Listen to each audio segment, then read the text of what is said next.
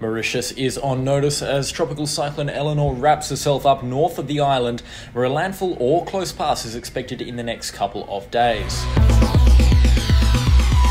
So taking a look at Tropical Cyclone Eleanor in this forecast update brought to you by Force 13. If you are brand new to the channel, then please consider subscribing and also leave a like on the video while you're at it.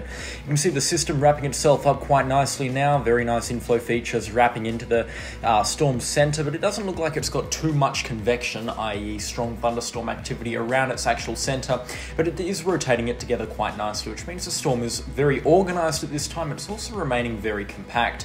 The forecast models aren't fully on board with a a strong system right now. They've got that compact sort of low pressure center that we, we have been seeing um, on the satellite imagery, and it is expected to um, kind of shrink in size actually in terms of the core size of the storm throughout Wednesday and then into Thursday. But as we get towards Thursday, the storm will get a little bit larger in terms of its maximum wind field before passing past Mauritius, delivering tropical cyclone force winds as highlighted by the red zones here, with peak wind gusts probably up to around 100 knots from this tropical cyclone as it approaches peak intensity. But hopefully, those winds stay offshore. We'll be seeing the strongest wind gusts um, on Mauritius, will be at about uh, 60 to 70 knots at an absolute worst case scenario. Still, however, if the storm was to wobble closer to Mauritius, that will bring even worse conditions ashore. We'll likely be seeing some cyclone force winds at some point over especially the eastern parts of Mauritius and maybe even for Reunion as well.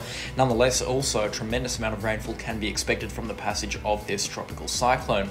Now that's a look at the Eastern VF forecast run. We're going to take a look at the GFS forecast right now. The GFS generally the more bullish on the models in the Southwest Indian Ocean, but they haven't been too on board with a strong system at this time. You can see getting up to around Category 1 status on the Saffir-Simpson hurricane scales, you're talking probably high-end moderate tropical storm to early stages of a tropical cyclone here. Still though, enough to pack a punch in terms of very dangerous wind gusts and also some strong um, uh, rainfall accumulations as well in and around Mauritius and also on Re uh, Reunion, maybe even for Rodrigues as well, but it looks like Rodrigues is really going to miss out on the impact from this system, which is some good news indeed. And then it passes south of Mauritius, it's going to sort of wrap around and recurve up towards Reunion, which will likely exacerbate the amount of rainfall that Reunion can be expecting from this tropical cyclone. If we were to take a look at wind accumulation over the next three days and see what we're expecting in terms of maximum wind gusts, um, for Mauritius and surrounding areas. We'll take a look at the Eastern VF model considering it's a higher resolution model. We've got the Icon model as well. The Icon model has been substantially weaker of the forecast models and a brand new model for um, uh, uh, the, this part of the world, uh, powered by, I think it's Meteo France, maybe it's an African forecast model uh, that we've got here, or Madagascar forecast model here. This one is a very high resolution model, and I'm excited to see what the AROME forecast model has to say uh, about this system. And you're going to have to subscribe to this, cha this channel to see what it has to say in terms of future updates. But you can see, if we switch it back to the Eastern Weather forecast uh, run, you can see peak wind gusts over the next five days on Mauritius. They do miss out on the worst bit, but still 40 to 50 knot wind gusts quite widespread around the island. Prepare for damaging winds, especially for Thursday and Friday. It is going to be a rough day, that's for sure, in terms of heavy rainfall expected, and also some pretty strong wind gusts, as I've said time and time again in this forecast update.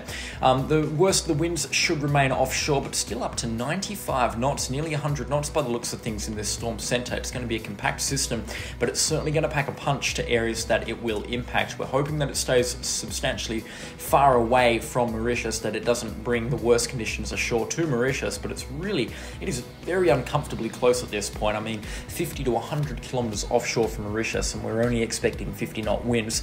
Um, if this storm does wobble further towards the west, then we will be seeing the destructive core move over Mauritius, and that would be a pretty bad situation indeed. I've been talking rainfall up for quite a while. You can see Thursday evening as this system approaches Mauritius, expect some pretty significant rainfall, especially on the western side of the system. You're looking at rainfall totals approaching 50 to 60 millimeters every three hours, and if this was to withst- uh, for to hold up for a couple of days, you'd be looking at rainfall accumulations approaching two to 300 millimeters, maybe even one or two pockets approaching four or 500 millimeters. Thankfully, it looks like once it gets south of Reunion, it turns subtropical by the looks of things as we get into later hours of Friday and into Saturday. And that doesn't mean that we're going to see the worst um, case scenario in terms of maximum rainfall, especially along Reunion. Reunion historically very wet from these tropical cyclones, but only 150 millimeters expected there, which is similar to rainfall accumulation on Mauritius, which is some very good news indeed.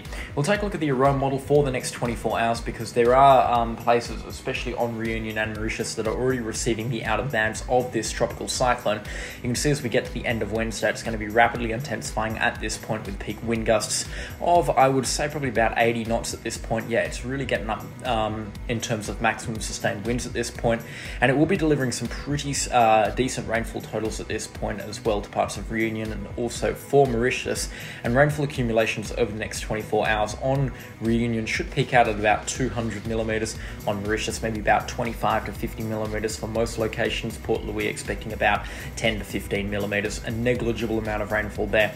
Um, overall, I would say Port Louis can expect maybe, oh, at a guess, maybe about 150 millimeters. Not an awful lot of rainfall, but still, um, considering it's from a tropical cyclone, it will fall very quickly and it will likely cause flash flooding in some locations. So, yeah, significant cyclone expected at this point. We'll also take a look at storm surge. Mauritius and Reunion, not historically impacted by storm surge as much as other nations can be, but still peak wave heights around the center of the storm approaching 20 feet. And when you're talking about 15 to 20 feet higher waves, certainly some significant coastal erosion can occur on Mauritius and also for Reunion. You get some big waves in the channel between Mauritius and Reunion, kind of acts like a funnel for these big waves to move through. Uh, Rodrigues as well, there's some low lying parts of Rodrigues that could face one or two problems with some storm tides as well associated with this tropical cyclone as it moves relatively close to the area. But once again, Mauritius and Reunion not historically affected too much by storm surge unless it's really catastrophic. And at this point, I'd expect a storm tide of no more than four feet as well. So not a really bad situation that we're looking at, which is some good news there. Um, for the nerd viewers, let's take a look at sea surface temperatures and also wind shear and see what the atmosphere is doing that's driving such a grim forecast in terms of intensification of the next two days. It will be intensifying quite fast and will definitely get up towards Category 1, maybe even Category 2 status on the Saffir-Simpson scale. And as we know, loop current where the storm is right now, 30 degrees Celsius sea surface temperatures and 29 degrees right up towards its passage past Mauritius.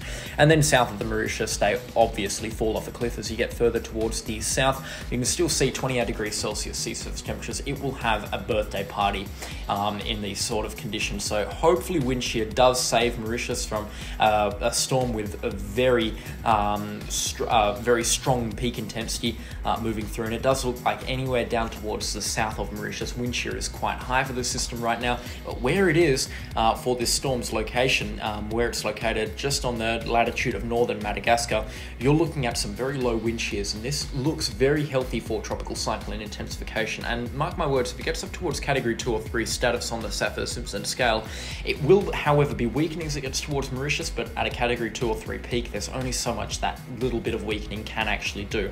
And if it moves itself directly over Mauritius, then we'll be seeing a pretty serious situation um, unfold. Anyways, that is the latest from Force 13 Media on this developing tropical cyclone situation. Stay up to date with Meteo France and also stay up to date with this channel. There's no better way to doing that than by subscribing. Your support really does mean a lot to us. Thank you so much for watching this video, and I'll catch you all in the next storm. Goodbye.